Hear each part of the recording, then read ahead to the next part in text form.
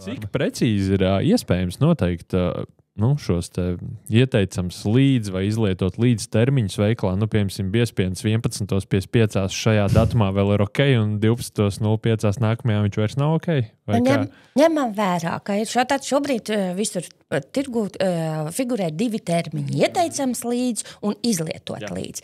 Tātad izlietot līdz ir par drošību. Cik drošs tas būs produkts uh, līdz pat izlietošanas beigām.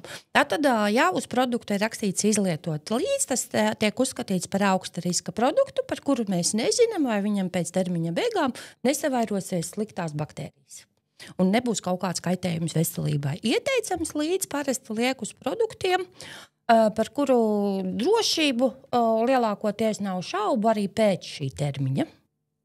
Protams, ka ir pētījumi, kas parāda, ka piemēram piecu gados, piecus gadus vecās auzu pārslās visiem pēc covid, kas skolā saņēma pārtikas pakas, dažiem vēl ir tās vecās pakas mājās, ka piecus gadus vecās auzu pārslās nebūs piemēram to pašu aflatoksīnu daudzums palielināts.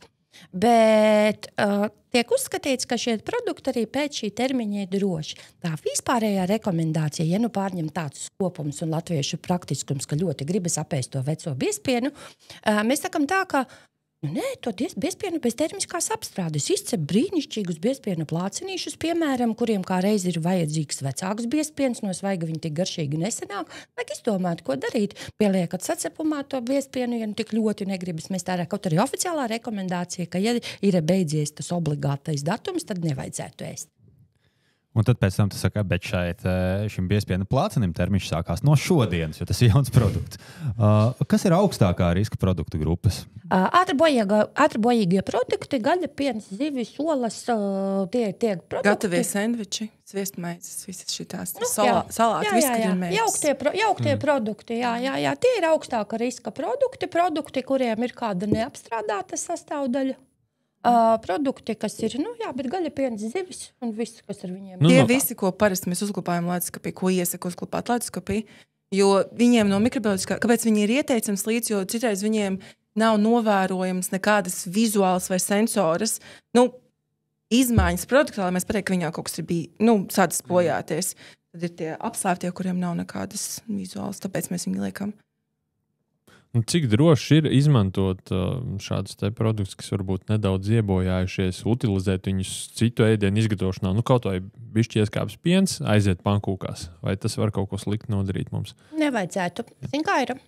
Uh, lielākajai daļai produktu Arī tad, kad viņi sāk bojāties, tie oficiālie pārtikas patogēni, salmonellas, listērijas, kampilobakterijas jau nebūs. Pēc tam nu, listērijas varbūt vēl uzaugs, bet, piemēram, paņemsim pienu, kuru jūs ieliekat pankūkās tur nevajadzētu būt. Neiztur termisku apstrādi. Jā, jā, jā. jā, jā.